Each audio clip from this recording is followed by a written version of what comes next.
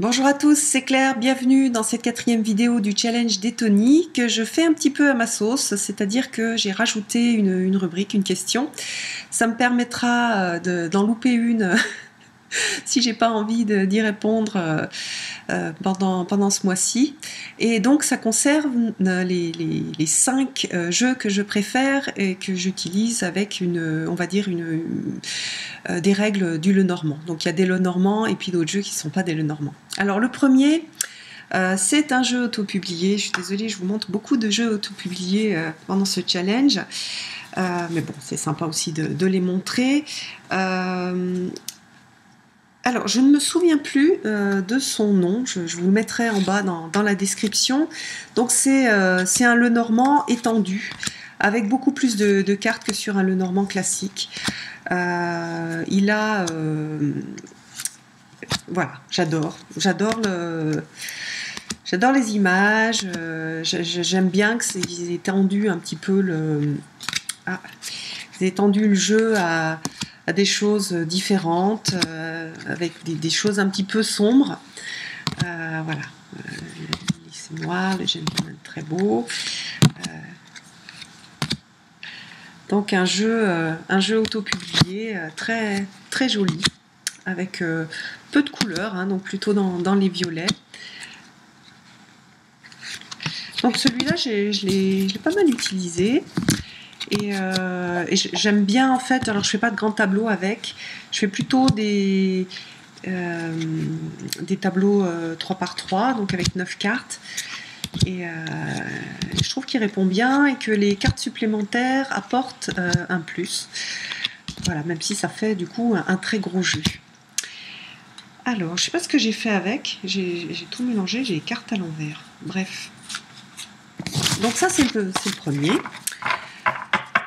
le second, euh, qui n'est pas un Lenormand, euh, qui s'appelle donc Madame Andora's Fortune Cards, donc ça c'est en anglais.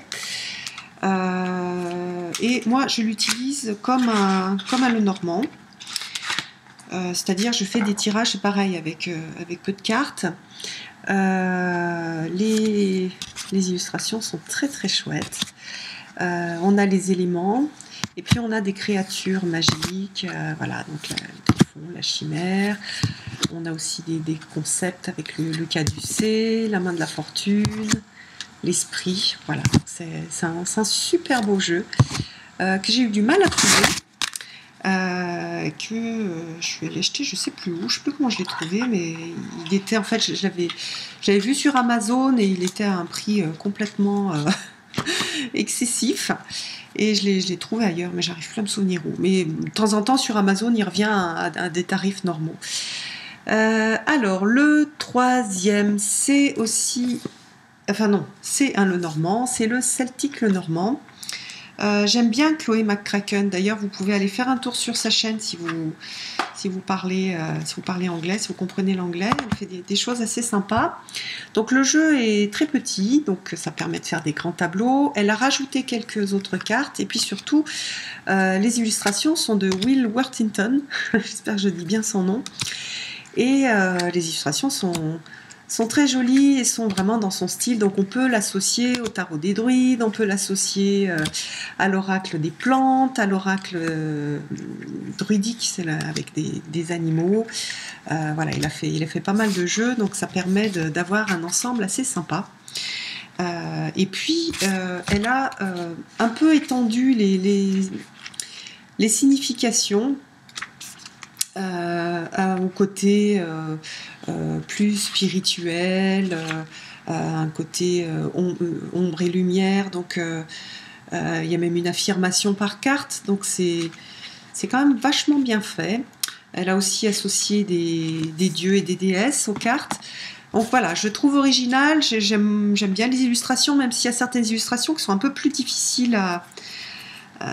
comment dire Par exemple là, le, le cœur, euh, ça m'a demandé un petit peu de temps pour, euh, bah, pour tilter que c'était le cœur et puis pour voir, euh, pour repérer tout de suite dans un grand tableau où se trouve le cœur, il, est un petit peu petit.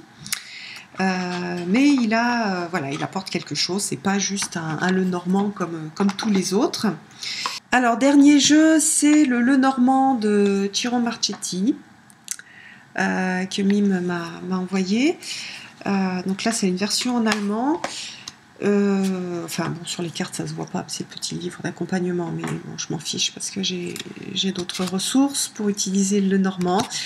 J'aime bien son style, c'est Ciro Marchetti, c'est lui qui m'a amené à connaître les, tarots euh, Rider-Waite, de style Rider-Waite. Et puis, euh, j'aime bien ce monsieur, à travers les, communications qu'il peut faire, à travers sa façon d'être. Euh, je, trouve très sympa et donc, bah, chaque fois, bah, je pense à lui quand, quand je sors un de ses jeux. Et c'est vrai que j'utilise plus beaucoup ces tarots, mais par contre, j'utilise assez souvent son, son le normand.